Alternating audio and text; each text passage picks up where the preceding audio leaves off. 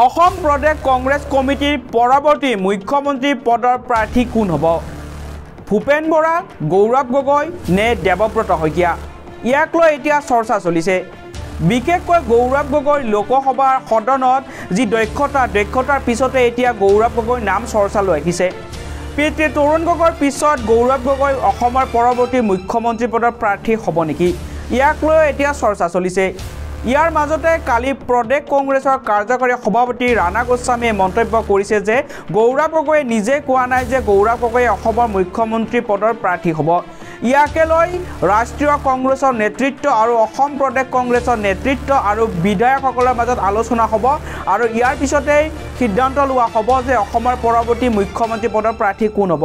কাৰণ কংগ্ৰেছ দলত এতিয়া বহু জ্যেষ্ঠ নেতা আছে তথা বহু দক্ষতা সম্পন্ন যুৱ নেতা আছে যিয়ে ৰাজ্যত দায়িত্ব গ্ৰহণ কৰিব পাৰে।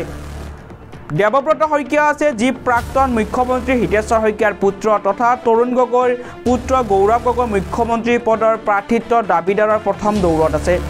অসম কংগ্ৰেছৰ পৰৱৰ্তী মুখ্যমন্ত্ৰী পদৰ প্ৰাৰ্থী কোন? গৌৰৱ গগৈ হ'ব নেকি পৰৱৰ্তী মুখ্যমন্ত্ৰী পদৰ প্ৰাৰ্থী?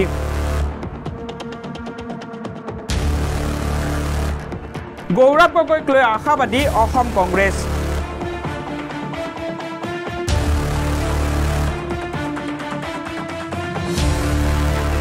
গৌৰৱ গগৈৰ যোগ্যতা আছে গৌৰৱ গগৈৰ গাত তৰুণ গগৈৰ তেজ আছে। এই মন্তব্য কংগ্ৰেছৰ কাৰ্যকৰী সভাপতি ৰাণা গোস্বামীৰ। অসম কংগ্ৰেছৰ পৰৱৰ্তী মুখ্যমন্ত্ৰী পদৰ প্ৰাৰ্থী কোন হ'ব? ইয়াক লৈ যথেষ্ট চৰ্চা চলিছে। বিশেষকৈ এই চৰ্চাৰ প্ৰথম নাম হৈছে গৌৰৱ গগৈ। কলিয়াবৰ লোকসভা সমষ্টিৰ সাংসদ গৌৰৱ গগৈৰ সদনৰ ভূমিকাৰ পিছতে বৃদ্ধি পাইছে গৌৰৱ গগৈৰ জনপ্ৰিয়তা।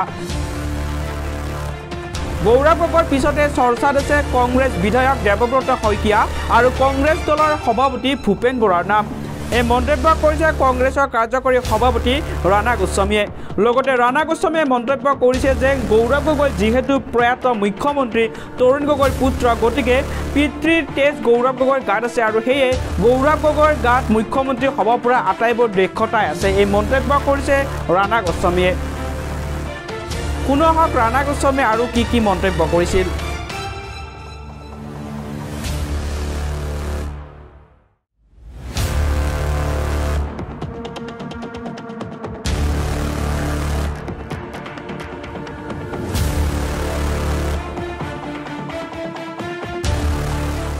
আজি অসমত মুখ্যমন্ত্ৰী হ'ব পৰা যোগ্যতা বহুত আছে বহুত ছিনিয়ৰ মানুহ আছে জুনিয়ৰ মানুহ আছে বহুত মানুহ আছে। প্ৰাইম মিনিষ্টাৰ হ'ব পৰা যোগ্য বহুত আছে গান্ধী পৰিয়ালটো যোগ্য হয়েই। ৰাহুল গান্ধী লোকসভা ইলেকশ্যনৰ পিছত প্ৰধানমন্ত্ৰী প্ৰাৰ্থী বুলি কোনে ক'লে? এতিয়ালৈকেতো কোৱা নাই। গৌৰৱ গগৈতো আমাৰ মুখ্যমন্ত্ৰী হ'ম বুলি কোৱা নাই।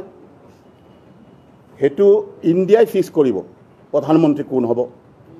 গৌৰৱ গগৈ অসমৰ মুখ্যমন্ত্ৰী কোন হ'ব? এ আই চি চিয়ে ফিক্স কৰিব অল ইণ্ডিয়া কংগ্ৰেছ কমিটিয়ে ফিক্স কৰিব এ পি চি চিৰ লগত কথা পাতি আমাৰ নিৰ্বাচিত বিধায়কবিলাকৰ লগত আলোচনা কৰি। যোগ্যতা যোগ্যতা ডেফিনেটলি যোগ্য যোগ্যতা আছে। আজি অসমত মুখ্যমন্ত্ৰী হ'ব পৰা যোগ্যতা বহুত আছে বহুত ছিনিয়ৰ মানুহ আছে জুনিয়ৰ মানুহ আছে বহুত মানুহ আছে। প্ৰাইম মিনিষ্টাৰ হ'ব পৰা যোগ্য বহুত আছে গান্ধী পৰিয়ালটো যোগ্য হয়েই। কিন্তু তথাপিতো আলাপ আলোচনাৰ মাজেদি ঠিক হ'ব। কাৰণ ভালেমান কেইজন জ্যেষ্ঠ নেতাই ইণ্ডিয়াত সোমাই ভাগ লৈ কাম কৰি আছে। ডেফিনেটলি গৌৰৱ গগৈৰ ফিউচাৰ আছে। গৌৰৱ গগৈ ডেফিনেটলি ফিউচাৰ আছে। বাপেকৰ তেজ আছে। ফিউচাৰ আছে। আজি আমাৰ হিতেশ্বৰ শইকীয়াৰ পুত্ৰ দেৱব্ৰত শইকীয়াৰ গাত বাপেকৰ তেজ আছে। গৌৰৱ গগৈৰ গাত তেজ আছে। ভূপেন বৰাৰ গাত আজি সংগ্ৰামী তেজ আছে। গতিকে তেনেকুৱা ব্য- ব্যক্তি বহুত আছে। প্ৰত্যাহ্বানটো আমি জনাব নালাগে এতিয়া ছ'চিয়েল মিডিয়াত জনাই আছে। ছ'চিয়েল মিডিয়াত তেওঁ পষ্টবিলাকৰ তলত আহি আছে নহয় কেলৈ? দেখিছে নাই? এজন মন্ত্ৰীয়ে যদি গৌৰৱৰ পিছত বেয়াকৈ কৈছে পিছত তেওঁলোকে কিবোৰ লিখিছে পঢ়ি চাবচোন অকণমান আৰু বাকী পাৰিলে এইবিলাক অকণমান ডাউনলোড কৰি আপুনি উলিয়াই দিবচোন মাজে মাজে। ৰাইজে গম পাওক। আৰু তেখেতসকলে বুজক অলপ সুমতি হওক। ৰাহুল গান্ধী লোকসভা ইলেকশ্যনৰ পিছত প্ৰধানমন্ত্ৰী প্ৰাৰ্থী বুলি কোনে ক'লে? এতিয়ালৈকেতো কোৱা নাই। গৌৰৱ গগৈতো প্ৰধা- আমাৰ মুখ্যমন্ত্ৰী হ'ম বুলি কোৱা নাই। সেইটো ইণ্ডিয়াই ফিক্স কৰিব। প্ৰধানমন্ত্ৰী কোন হ'ব? গৌৰৱ গগৈ অসমৰ মুখ্যমন্ত্ৰী কোন হ'ব? এ আই চি চিয়ে ফিক্স কৰিব অল ইণ্ডিয়া কংগ্ৰেছ কমিটিয়ে ফিক্স কৰিব এ পি চি চিৰ লগত কথা পাতি।